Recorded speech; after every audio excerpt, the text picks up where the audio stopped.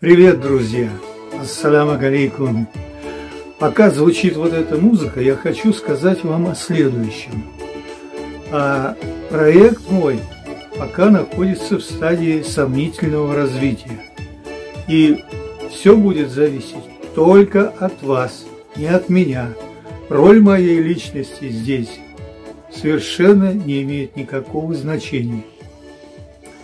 А я бесконечно благодарен уже тем людям, которые мне кое-что присылают из видеоматериала. Вот, например, э, Фаузия Максумова, я очень ей благодарен за то, что она мне прислала вот это видео. Давайте посмотрим. Ну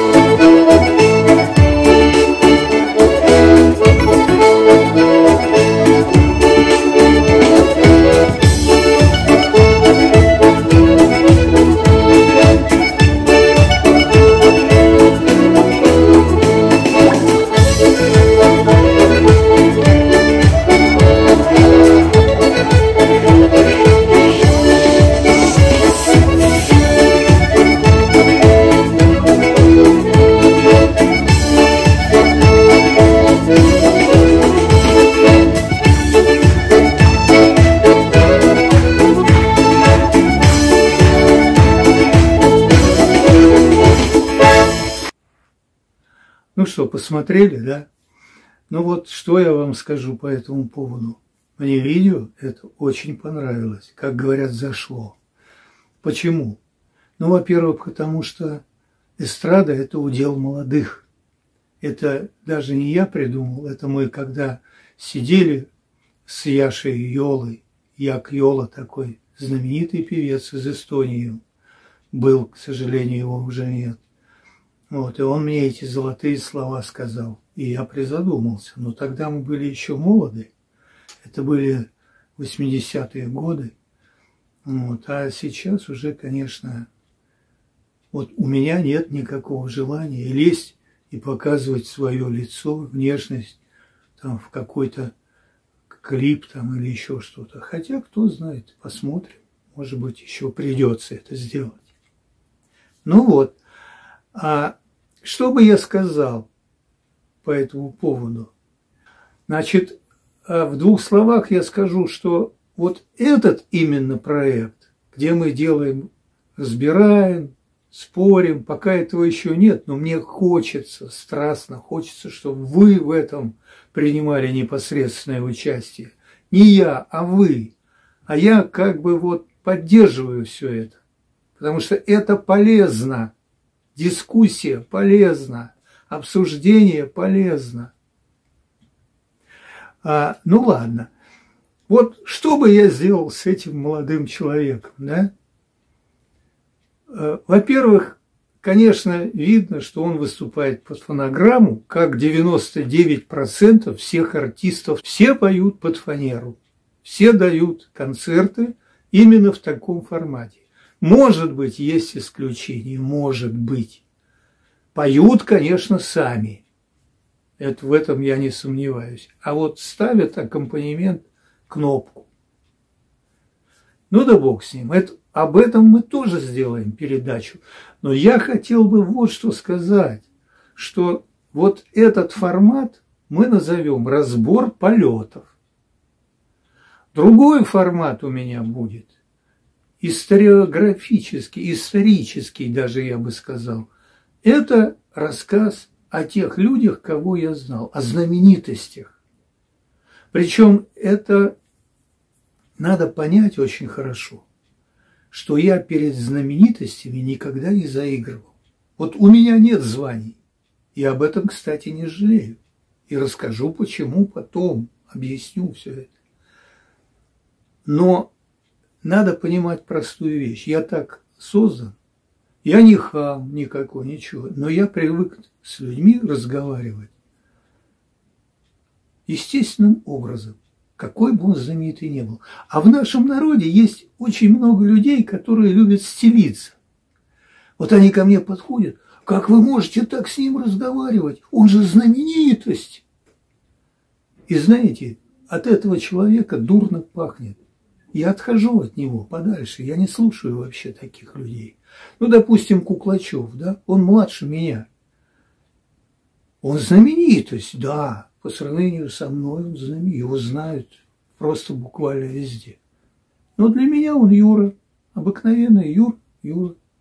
Почему вы его не называете Юрий Дмитриевич? Да пошел ты, и все. А не называю я Юрия Дмитриевича. Почему? А называю Юра, потому что есть на то причины. Много причин. Об этом я тоже расскажу потом. Я расскажу о его театре, о том, как он работает с кошками. Я, я же с ним работал не один год. Расскажу о коллективе. Давайте продолжим. Что бы я сделал с этим мальчуганом? Во-первых, я ну, привлек бы внимание концертных организаций. В Казани есть филармонии, в Уфе. Обязательно. Этому парню нужна помощь. Не фонограмма ему нужна. Ему нужно двух-трех музыкантов поставить. Он солист. Найти надо этих людей. Бас обязательно.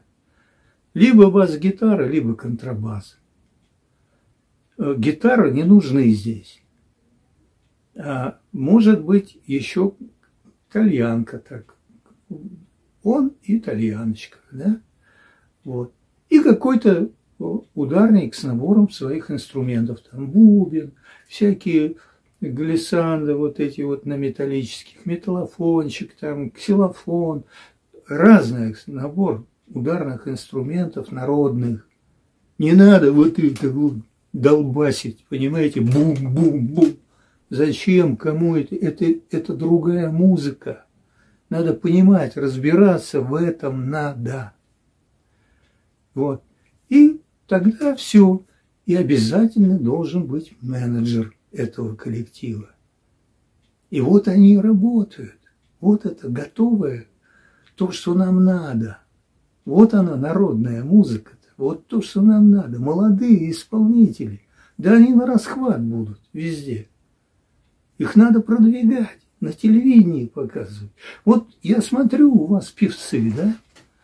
Они практически ничем никто не отличается. Ну, ничем. Я отмечаю среди ваших солистов только двух. Это, а, как же ее фамилия сейчас, Гарипова и Калимулина. Вот эти две девушки, они продвинутые. Видно, что они грамотные. Они наверняка по-английски разговаривают, по-русски, по-татарски.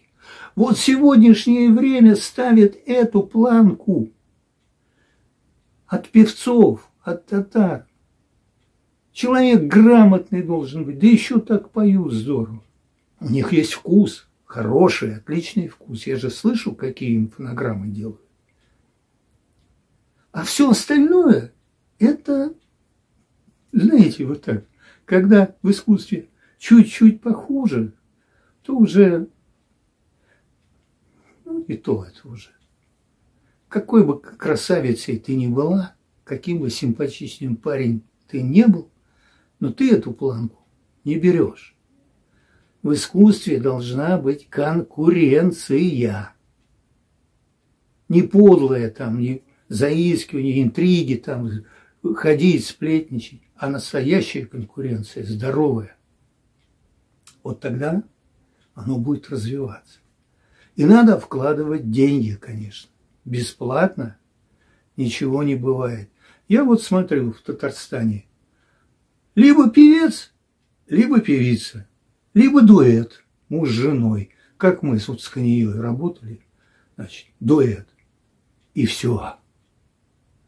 А где, допустим, вокальный ансамбль какой-нибудь из четырех, из трех, там, э, из разных там, да, вокальные группы. А где инструментальные группы на современной основе, где они? Вот послушайте небольшой фрагмент из моей музыки, то, что я вот придумал. Ну, на основе народной. Давайте послушаем. House, house.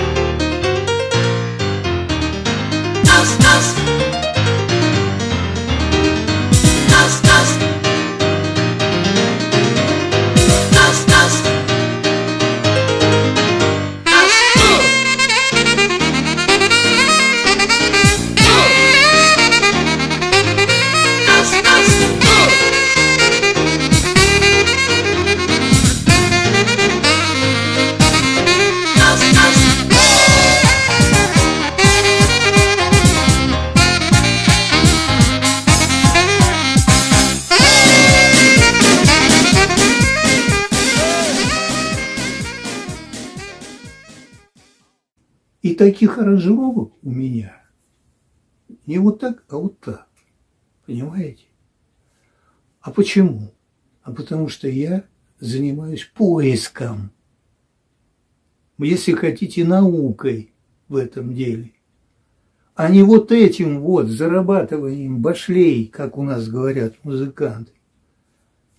Все музыканты, все бегут, вот, а где, где что сорвать, где что зацепить.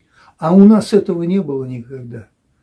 Мы времена Битлз проходили. Мы ящики вот эти бесплатно таскали. Бесплатно выступали, благотворительные концерты. Вот столько было всего. Вот такие дела. Но там и конкурсы были очень интересные. Вот, допустим, э, я являюсь лауреатом джазового фестиваля. Ой, не лауреатом, дипломантом, простите. Джазовый фестиваль, вот посмотрите. Руку Леонид Ильич Утесов пожал мне, диплом вручил. У Утесов. Представляете, какая это личность? И я перед ним не стелился. Мне не надо было, я вышел, вот, мы получили этот диплом. Он сейчас там где-то на предприятии, в музее. Вот.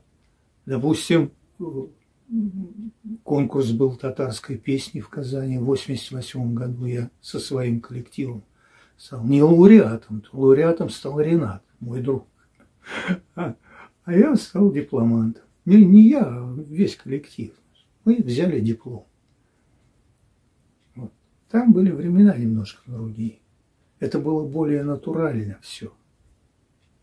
А сейчас да. Присылайте свои видео, будем разбираться. И пишите свои замечания. Что вы вообще обо всем об этом думаете? Ведь это же полезно, это нужно для развития нашего национального искусства.